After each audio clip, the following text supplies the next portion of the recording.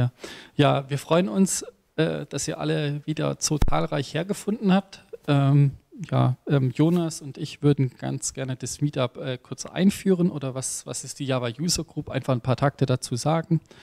Ähm, ja, ähm, heutiges Thema ist ja Blockchain und ähm, da konnte, konnten wir mehrere Referenten motivieren zu kommen. Äh, wir haben zum einen den Alex, der extra aus Frankfurt angereist ist und den zweiten Talk über das Raiden Network geben wird. Und äh, ja, dann haben wir noch den Yannick und den Thorsten hier vorne, die etwas ähm, ja, zur Hyperledger Fabric in der Praxis uns erzählen werden. Genau. Ganz kurz, Java User Group schon mal gehört, viele wahrscheinlich, äh, die im IT-Umfeld unterwegs sind. Wer ist alles Entwickler? Hand hoch. Okay.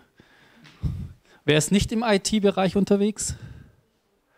Haben wir auch. Ja, es ist sehr schön. Also das Thema bietet heute auch mal die Möglichkeit, ein bisschen Grundlagen zu sehen, dass man auch mal einen Rundumblick hat über Blockchain.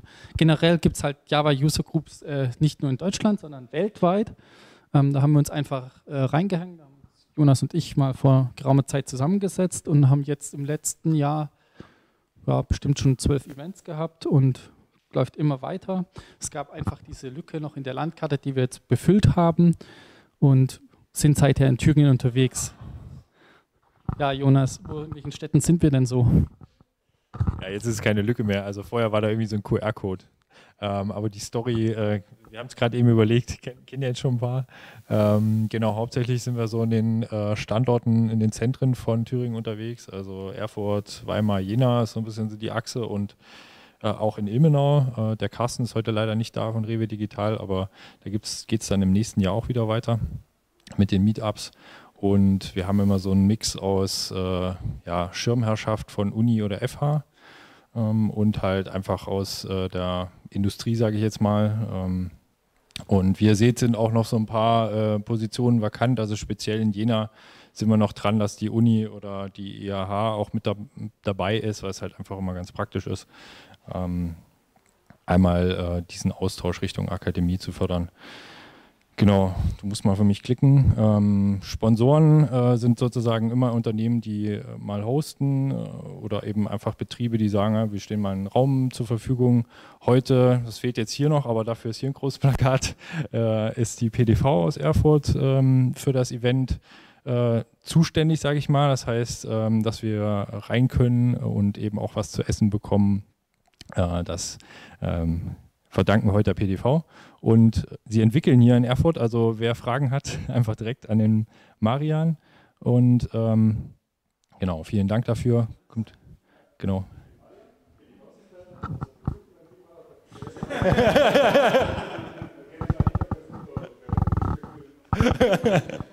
genau. Genau, und wenn ihr natürlich äh, dann morgen wieder in eure Firma geht, dann äh, sagt ihr natürlich, ja, super cool, das wollen wir auch machen. Und äh, viele haben es ja auch schon gemacht. Ähm, wenn ich jetzt da hinten die Tab sehe, zum Beispiel dieses Jahr. Und genau. Ja, von den Themen her äh, relativ breit aufgestellt. Wir machen nicht nur Java, sondern ähm, alles, was so auf und da rundrum herumläuft. Ähm, Genau, und ähm, ja, wenn, wenn, ihr hosten wollt, also ich glaube, äh, die Kontaktkanäle sind relativ klar, entweder über Meetup oder Twitter oder oder oder oder werdet ihr uns finden und wir werden euch, ähm, denke ich, nicht zurückweisen. So, was haben wir denn für Partner? Ja, also klar, am Anfang startet man nicht so klein. Mittlerweile haben wir es aber geschafft, dass die Java User Group das größte IT-Meetup von der Anzahl der Mitglieder ist. Ähm, trotzdem pflegen wir Partnerschaften mit verschiedenen anderen Meetups. Ähm, es gibt auch Events in der Region, die wir mal später äh, vorstellen. Und äh, es gibt auch zwei ganz neue Meetups, die ihr jetzt hier noch gar nicht seht. Zu denen wird Jonas auch noch was sagen. Ja, ähm, momentan am interessantesten würde ich sagen, in Thüringen wäre hier auf dieser Slide zumindest die Softex-Kammer noch. Aber wir sind auch manchmal oft bei der Juxexonie mit Vorträgen, waren wir jetzt schon mehrfach, sind im Januar wieder zu Besuch. Genau. Ähm, ja, bei den Kanälen, da äh, spielen wir natürlich Meetup zum einen. Ähm, da haben sich wahrscheinlich die meisten angemeldet. Wir bloggen noch ein bisschen, äh, sind auf Twitter aktiv und ähm, ihr seht schon schön, dass ich das Mikro hier halte. Das hat einen Grund. Ja, wir zeichnen auf. Das heißt, die äh, Vorträge findet ihr danach immer auf äh, YouTube. Äh, wer irgendwas verpasst hat oder mal nicht konnte, kann das also gerne in Ruhe nachschauen. Ja, ihr könnt nicht nur wegen den Talks da sein, sondern natürlich auch zum Austauschen, andere Firmen kennenlernen, aber ähm, vielleicht für Projekte oder ihr habt vielleicht Lust, dass ihr mal eine Lektüre wiederbekommt. Und da haben wir halt die Möglichkeit, statt dass ihr 90 Euro für das Java-Magazin zahlt, für sechs Ausgaben im Jahr, könnt ihr nur 15 Euro zahlen, indem ihr hier diese zwei Seiten bei uns ausfüllt. Dann werdet ihr offizielles Mitglied der Java User Group. Wir sind im IUC, zahlen einen Gruppenmitgliedsbeitrag und äh, dadurch könnt ihr zum Beispiel das Magazin bekommen, aber auch äh, auf Konferenzen wie die JavaLand oder Java Forum Not, das aktuell gerade läuft, äh, gehen. Ähm, bei der JavaLand, ja, das sind jetzt noch Tickets gerade im Verkauf, gibt es einfach 20% Rabatt. Wenn ihr Mitglied seid, gibt es einen kleinen Code. Oder wenn ihr sagt, ihr wollt Mitglied werden, füllt es hier aus, kann ich, können wir den Code auch schon direkt rausgeben. Ähm, geht es etwas schneller. Ähm, genau, hat man das Geld quasi schon für die nächsten Jahre drin. Ja, 2018 war ja ein tolles Jahr. Wir sind jetzt so langsam, geht es Richtung Ende zu, noch nicht ganz. Wir haben noch den jährlichen Umtrunk eingeplant. Ja, Jonas, was hat es denn damit auf sich? Ja, relativ einfach, hast du schon alles gesagt. Umtrunk halt. nee, also wir haben natürlich eigentlich so regelmäßige äh, Orga-Meetups. Äh, in letzter Zeit ist das ein bisschen unter die Räder gekommen, weil jeder auch so seinen äh, Turn hat. Aber das wollen wir jetzt da mal den Weihnachtsmarkt nutzen, um uns wieder zusammen zu raufen. Und wie gesagt, gibt es auch noch ein paar mehr Meetups. Das heißt, wer auch Bock hat, da mitzumachen, wir suchen auch mal engagierte Leute, die sagen, hey, so Meetup-Organisationen kann ich mir auch vorstellen, da mal reinzuschnuppern. Wie geht das eigentlich, so ein ähm, Meetup ja, mit zu organisieren? Ähm, dann kommt einfach vorbei. Genau, aber jetzt hast du schon so viel erzählt von äh, den zukünftigen Events. Ähm, nächstes Jahr, ziemlich am Anfang, wahrscheinlich Ende Januar, wird es einen Hackathon geben, äh, zusammen mit der Bauhaus-Uni Weimar und äh, von Cozentrik gesponsert. Äh, da gab es ein Projekt jetzt im Jahr äh, zum Ferienpass. Äh, ich weiß nicht, wer das gelesen hat, war auch mal kurz in der Zeitung. Das ist so eine ähm, Geschichte, dass man seine Kinder so im, in den Ferien anmelden kann in Weimar. Es ist so eine freie Trägerschaft und ich war da selber und äh, musste mich da hinsetzen und dann einen halben Tag warten und eigentlich Urlaub nehmen, um mein Kind da anzumelden. Und wir haben dann gesagt, das kann man irgendwie besser machen, können wir irgendwie digital machen und das haben wir auch gemacht in einem Studentenprojekt. Es ist jetzt auch online, aber es ist so, naja, ähm, halbfertig. Und äh, wir haben jetzt gesagt, so einen konzentrierten Hackathon zusammen mit den ähm, Mädels von der Stadt Weimar, die das da betreuen, äh, würde das Ding halt rund machen dann können das halt einfach nächstes Jahr wirklich genutzt werden. Bisher läuft das in der Beta-Phase und äh, das wird aber noch angekündigt, was, wann wir das machen. Ende Januar ist jetzt an, eingeplant. Genau, und dann habe ich ja schon gesagt, äh, am 31.01. kommt der Benjamin Wilms äh, nach Ilmenau ähm, und erzählt was zu Chaos Engineering. Also im Endeffekt, wie man seine Kollegen alle am schnellsten kennenlernt. Ähm, also wer das schon mal gehört hat bei Netflix, die machen ja selber so ein bisschen ihre Anwendungen und Infrastruktur kaputt aktiv, damit sie wissen, ob es wirklich äh, so res resilient äh, und ausfallsicher und so weiter gebaut ist, wie sie gedacht haben. Und da kann der Benjamin, glaube ich, ganz gut was erzählen. Also 31.01. in Ilmenau. Und dann habe ich ja auch eben schon beim Reingehen hier ein paar Gespräche gehabt. Ähm, es gibt das neue DevOps Thüringen Meetup, also wer viel mit Betrieb und so weiter zu tun hat, dem, für den ist das sicherlich interessant. Vom Fokus her geht es viel so um Infrastructure as Code Sachen oder Continuous Delivery, DevOps allgemein. Und da ist tatsächlich schon nächste Woche das erste Meetup. Da sind auch alle Buzzwords angekreuzt.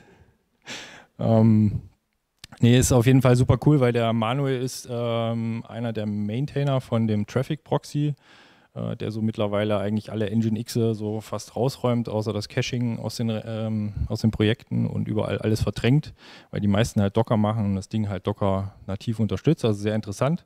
Äh, natürlich auch mit Terraform, weil wir machen ja Infrastructure as Code. Und das Folgemeetup im neuen Jahr ist auch schon terminiert. Ähm, genau, das ist zusammen mit der Softwerkskammer in Jena. Und da kommt die Sandra Pasik und erzählt einen Rundumschlag zu Integration Testing. Sei es jetzt äh, einmal auf Anwendungsebene oder halt auch auf Infrastrukturebene. Auch super interessant und wie gesagt zusammen mit der Softwerkskammer. Genau, und dann können wir gleich rüberspringen. Genau, zur Softwerkskammer. Ähm, da sind schon ein Haufen Meetups noch geplant. Also nach dem Joint Meetup geht es dann weiter mit, äh, mit Domain-Driven Design im Microservice-Umfeld. Da kommt der Michael Blöd von InnoQ. Und ähm, genau, also schaut am besten auf Meetup, weil ich jetzt die Daten auch nicht im Kopf habe. Danach kommt Property-Based Testing im März wahrscheinlich. Genau. Und nur noch eins, äh, IoT. Nicht zu vergessen, oh, willst du? Achso, ja, mach mal. Ja, also sind nicht alle Events online. Es gibt natürlich noch mehr. Unter anderem einen Sketchnotes-Workshop haben wir schon geplant. Da freue ich mich auch schon drauf. So, jetzt, jetzt kommt äh, der neue Wind. Ist das zusammen mit New Work dann oder das kenne ich noch gar nicht? Der Sketchnote. Ja, da, da bin ich noch dran. Okay, gut. Also wird noch announced. Ähm, genau, und äh, wir haben ja noch ein Meetup was, wo ich irgendwie auch äh, komischerweise irgendwie drin hänge. Ich weiß gar nicht mehr, wie das passiert ist.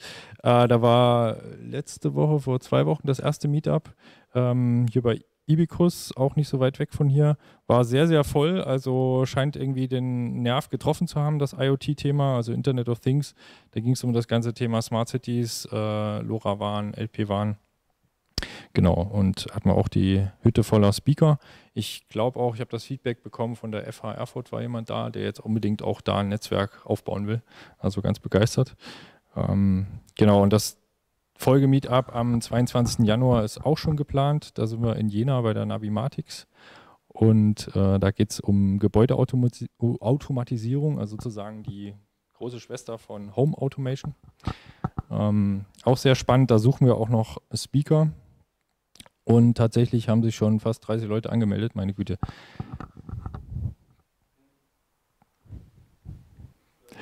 Ja, genau, dann, dann springe ich mal wieder rein, genau. Ja. So, und dann sind wir schon bei. sind wir schon heute Abend? Genau. Einmal, das waren jetzt echt viele Slides, ich bin es gar nicht mehr gewöhnt. Benjamin hat gesagt, wie letztes Mal. Ich gesagt, hä, welches letzte Mal? Wir haben immer ohne Slides gemacht. Okay. Ja, dann äh, würde ich sagen, äh, wünsche ich uns einfach viel Spaß. Ähm,